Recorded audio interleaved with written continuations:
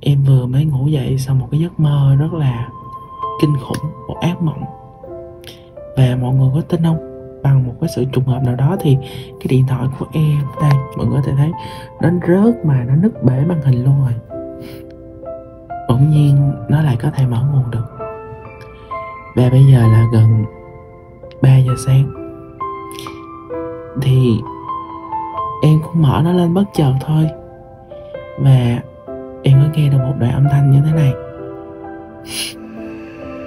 Nó làm cho em cảm thấy là suy nghĩ nhiều lắm. Để mở mọi người nghe nha.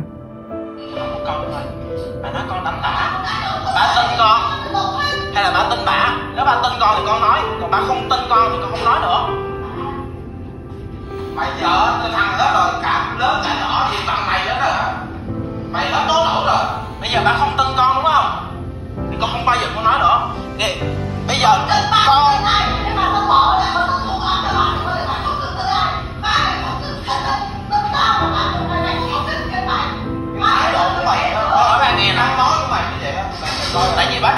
con mẹ con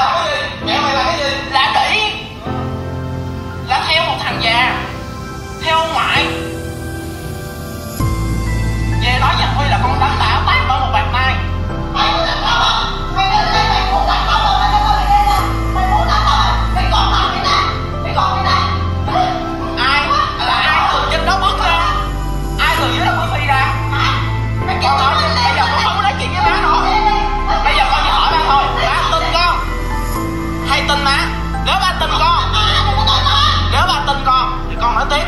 Còn nếu ba không tin con thì ngày mai con dọn ra ngoài bên ra ngoài ở. Con sẽ bây giờ cập rập á con không có đi sài gòn liền được. Nhưng mà con xong xuôi hết con cũng sẽ đi sài gòn. Con không bao giờ quay về nữa tại vì con hiểu rõ quá mà tại vì ba không có tin con. Còn nếu ba bây giờ ba tin con thì con nói còn ba cảm thấy ba không tin. Con kìa con chỉ đợi có ba một câu trả lời là ba tin con hay là ba tin má mày với càng ngày càng lớn càng mất dạy quá. Con mất dạy cũng là bây giờ ba chỉ xác định là ba tin con thôi nếu ba tin con thì con sẽ nói rõ ràng. Còn nếu mà ba cảm thấy không tin con thì con không có nói gì nữa. Hết bây giờ ba chỉ cho con hiểu một câu trả lời thôi.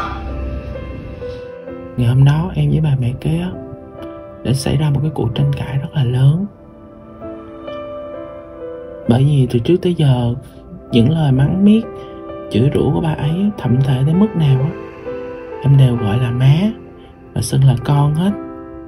Nhưng hôm đó bà ấy nói nặng lắm em không chịu được. Và em cũng nghĩ là mình sẽ ra khỏi nhà.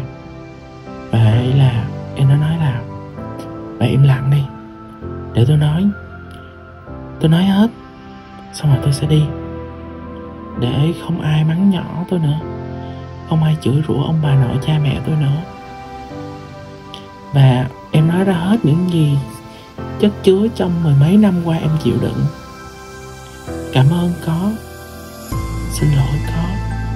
Trách móc có, thù ghét cũng có.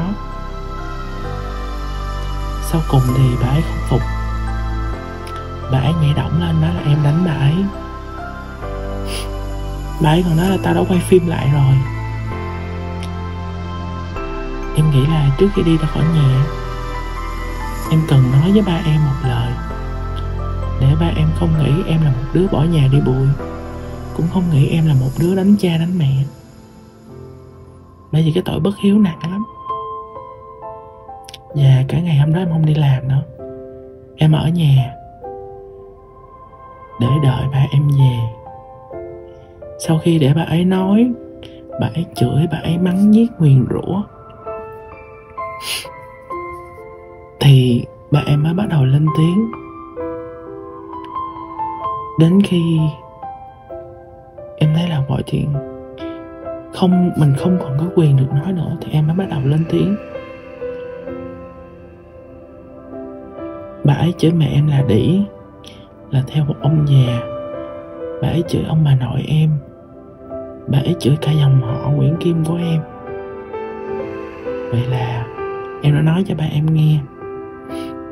Ba em biết những điều đó chứ, nên ba em mới im lặng không nói nữa và bà ấy nói là, em đánh bà ấy.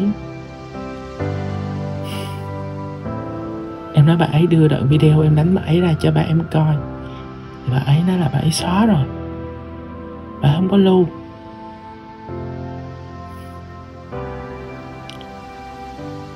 Em hỏi ba em là, ba em có tin em không? Như mọi người cũng nghe đó. Ba em không trả lời nghĩa là ba em đồng ý với cách nói chuyện của bà ấy. Bà không tin em. Và sau cái buổi nói chuyện đó, thì em đã nói với ba em là, ba làm gì thì làm. Đừng để con giống anh thiện. Anh thiện là một người anh có hoàn cảnh giống như em vậy đó. Anh ấy phải lan bạc, sống nay đây mai đó. Ba em biết điều đó chứ? Vậy là ba em em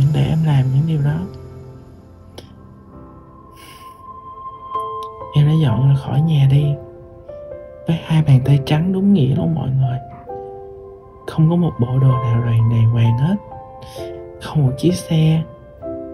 Không một đồng cao su các bạn nào trong túi cả. Tấm đoán mà đã gần 3 năm rồi đó mọi người.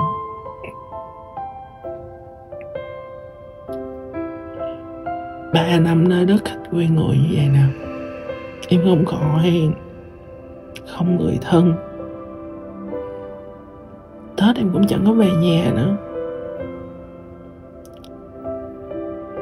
Như bạn cứ nói là cuộc sống của em tốt.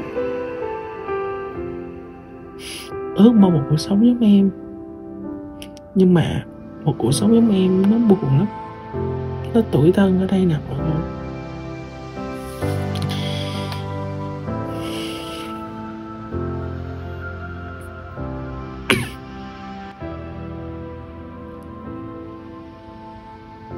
nhiều khi á,